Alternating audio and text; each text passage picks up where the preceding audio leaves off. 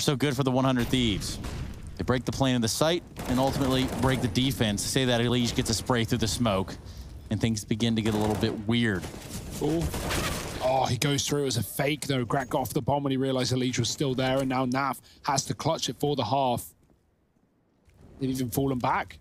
They're waiting for fights, and they're going to get him. Naf's here, and he's taken two. The bomb's dropped. He knows about the mid-luck. He's looking at his back, but can he find an upgraded gun? Seven bullets in the mag. Fires off a couple. Molotov going in deep. That's going to force Azza into the open. He's already made it out, and Naf has done it on his own. One on three on B to find five for Liquid, but